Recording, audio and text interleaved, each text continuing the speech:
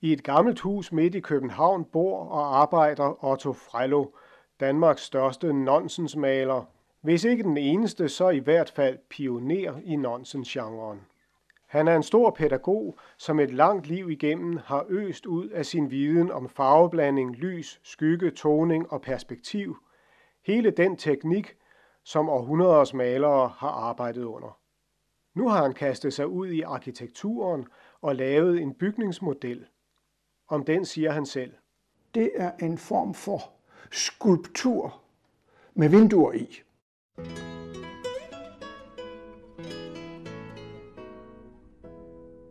Det er altså modelleret i ler.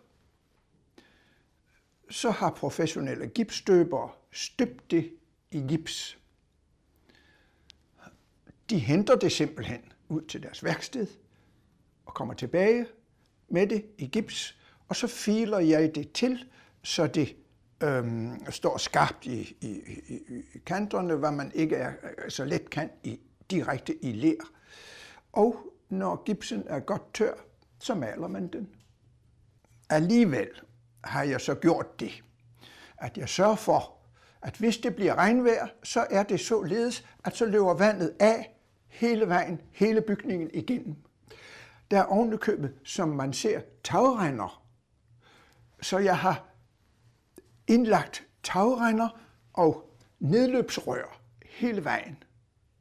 Altså vil man, vil man virkelig gøre det vanvittigt, at man begynder at bygge et sådan kompleks, så får man en bygning, som skulle man kunne få en bygning, som man ligefrem kan bo i. Derfor er den også opdelt i etager. Det ser man ikke umiddelbart, når man ser på huset, men i virkeligheden er det sådan, at man siger, her har vi stueetagen, og så er der et betondæk, det hedder det vist nok i byggeri, og der på hviler første salen, så kommer anden salen, så kommer tredje salen. Du har lavet nogle meget fine gelænder heroppe. Ingen har nogensinde lavet en model på den måde. Jeg har aldrig hørt, at nogen sige, jamen sådan noget har vi set før. Øhm, altså måtte jeg opfinde det efterhånden. Øhm, rækværket for eksempel.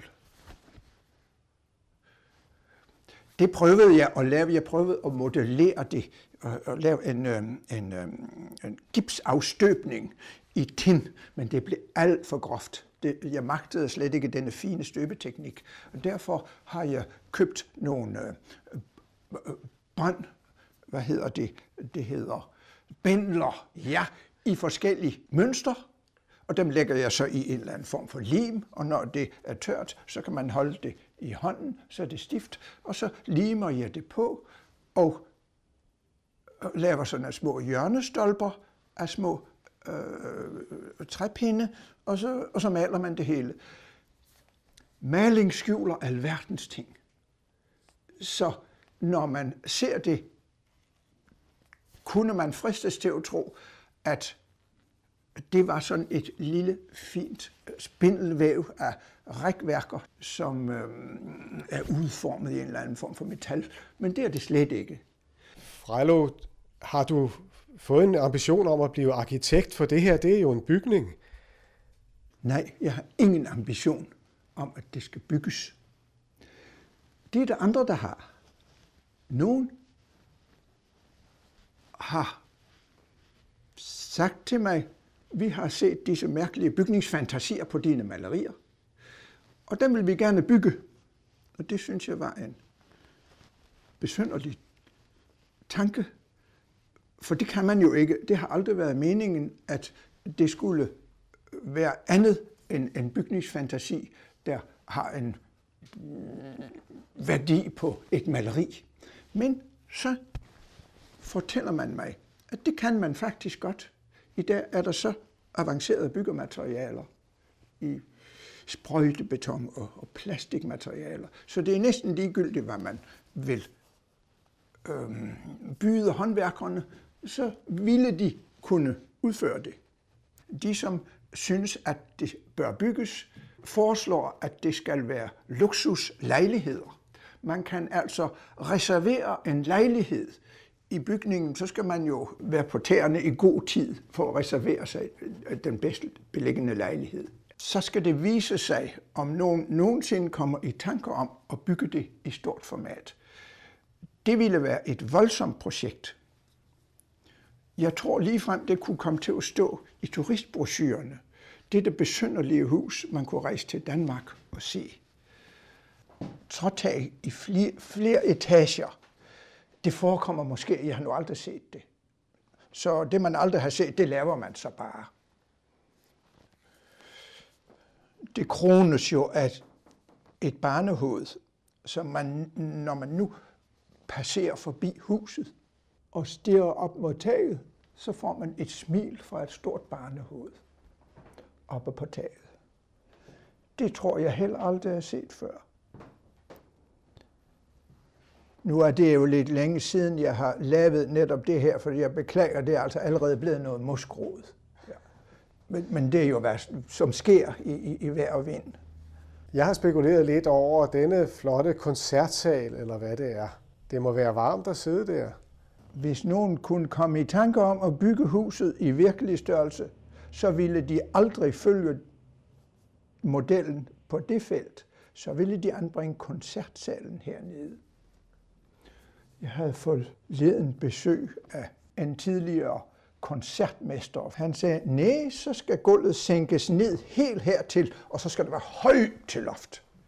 Ja, for han havde begreb om musik. Så han så straks, at det der, det dur ikke. De kan ikke sidde højt op under taget.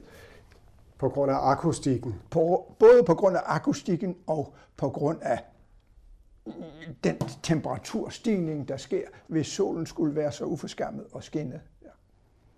Så dette er en, det er en udstillingsspøj. Og øh, så håber vi, at der er ingen af udstillingsgæster, der, øh, der forarves over det, eller lægger mærke til det. De tror på, at sådan kan man godt lave en koncertsal. Det kan man ikke. Men det vil sige, at øh, hvis bygningen skal realiseres, så har du ikke noget imod, at, at noget bliver lavet om eller anderledes? Ikke spor.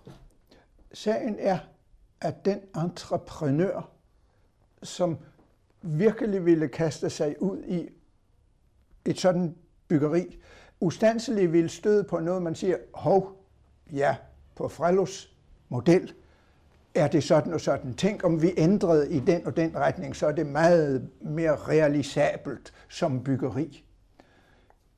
Og dertil er kun at sige, at det, skal man bare, det skulle man bare gøre. Man skal bare bibeholde vanvittigt i bygningen.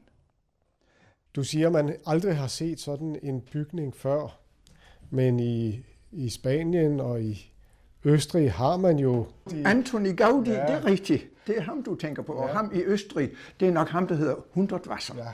ja. Øhm, jeg, har, jeg har overhovedet ingen forbilleder. Øhm, nu kunne man øh, tænke sig, at jeg havde set øh, disse øh, bygmestre værker. Det havde jeg ikke. Da jeg havde lavet disse malerier, øhm, så kom der en nevø og forærede mig en bog om, om Gaudi. Og det, øh, det synes jeg var vældig spændende. Men jeg kendte ham ikke, da jeg lavede malerierne. Kun af omtale eller af lidt billeder her og der. Øh, Gaudi er for, det er for 100 år siden. Han var en kæmpe arkitekt i den tid, vi omkring øh, 1900 og, og lidt ind i 1900-tallet, den tid, vi kalder her kalder jugendtiden. Øhm, og han mestrede alverdens mægtige konstruktioner. Hundertwasser.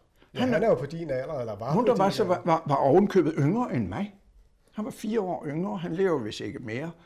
Øhm, jeg husker godt, at for nogle år siden var jeg i Wien for første gang, og så skulle min kone og jeg lige også hen og se øh, 100 vasser, og så kører vi rundt og finder, værsgo, det må, der er 100 vasser bygningen, og jeg er ked af at sige det, men der sagde jeg til mig selv, ja, det kunne jeg også have gjort.